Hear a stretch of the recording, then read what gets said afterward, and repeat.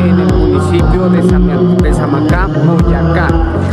Hoy en Caminando con Orlando quiero seguir con mi proyecto de seguir visitando estos bellos municipios del departamento de Boyacá anteriormente lo decía, en Samacá.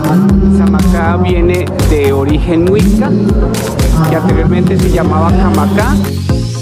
Es un municipio que fue fundado en 1550, tiene 458 años y pues su parque principal está rodeado por, por palmeras y su iglesia eh, se llama Nuestra Señora del Rosario que está a mis espaldas.